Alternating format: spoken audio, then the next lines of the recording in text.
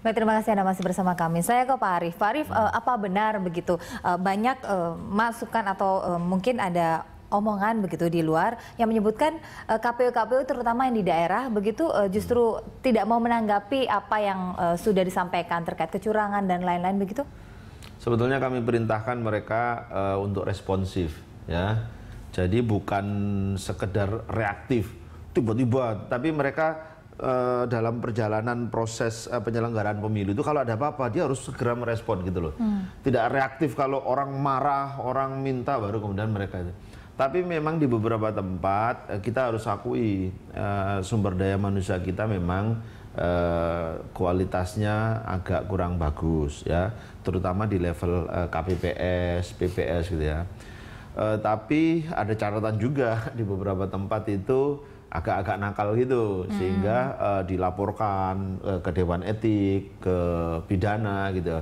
Dan kami mendorong itu. Apabila mereka memang terbukti melakukan tindakan pidana harus dipidanakan hmm. nah, kami juga tidak mau kerja keras kita ya di tingkat nasional ini dengan partai politik dengan bawaslu KPU tiba-tiba dicederai oleh orang-orang yang berperilaku begitu okay. nah kami juga menginginkan peserta pemilu itu juga menertibkan konstituen mereka, anggota-anggota mereka yang di bawah itu masih juga main-main begitu. Hmm. Jadi uh, ini kerja bersama lah ya. ya. Kadang-kadang ada penyelenggara pemilunya yang nakal, hmm. tapi ada juga peserta pemilunya yang uh, di bawah juga nakal-nakal dikit. Oke, Pak Rio, Anda menanggapinya memang uh, justru daerah-daerah uh, tadi yang sudah disebutkan agak-agak nakal begitu, memang yang tingkat kecurangan yang paling tinggi begitu? Iya, artinya gini, uh, tidak semua ya, tidak semua nakal, tapi masih ada beberapa apa daerah yang uh, perilakunya masih memakai perilaku yang lama. Nah itu biasanya tingkat kecurangannya cukup tinggi ya. Artinya uh, seperti ada satu daerah kemarin hitung ulang ternyata C1 plano ya. Hmm. Apa C2, C1, C1, C1 hmm. planonya hilang katanya. Hmm, Padahal ada. di situlah tempat terjadi hmm. kecurangan itu. Hmm. Harusnya itu kan tidak mungkin hilang karena Eh, KPU harus menyiapkan bahwa kemungkinan terjadi hitung ulang itu pasti ada.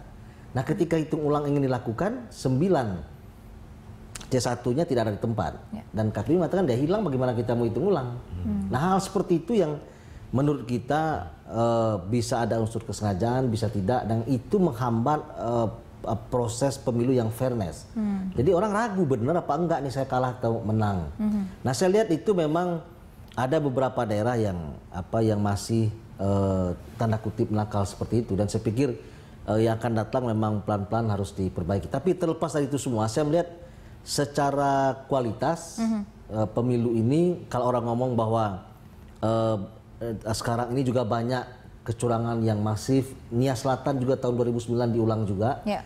Nah, cuman saya melihat kenapa kok sekarang banyak sekali kecurangan?